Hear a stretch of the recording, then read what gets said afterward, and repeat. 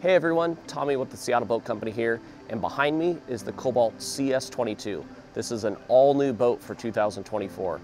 The exterior, interior, hull design will give you a nice ride out on the water, but being that brand new boat gives you a fresh look to the new CS series. Let's go ahead and take a peek at all the new features. On the all new exterior for the CS22, optional fender clips, three sets of cleats on each side, and you've got your fuel fill here on the port side now. Fuel capacity is up just a little bit to 52 gallons. Optional flagpole receptacle right here, and easy access right here on the swim platform to your cooler and garbage can.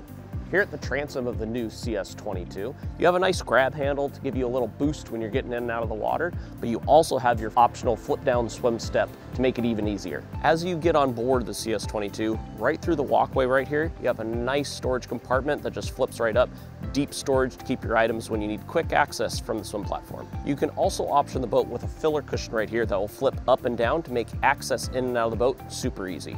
As you enter the cockpit of the new CS series, you're greeted by a nice place to actually place your feet. This is also an area that a cushion will fill in to make it a nice U-shaped seating area. Starboard side storage, port side storage, which has the battery switch location, and a big, huge engine compartment to make servicing for your technicians nice and easy. The port side observer seat has this great flip-flop back seat so you can sit facing forward when you're underway, or some action's going on behind the boat, or you just want to relax, plop it down, and now you have a great spot to just sit back and relax. And you've got storage underneath. Up in the bow of the new CS series, all three cushions lift up to give you great storage. You have a wind block door that can deploy out when it's a chillier evening when you're underway. And I've got in-floor storage right here for everything that you need to store that may be a little bit longer. So here at the helm, I've got a nice helm seat with the flip up bolster, but I can also move the seat fore and aft. My tilt steering wheel makes it so I can drive at a nice comfortable position.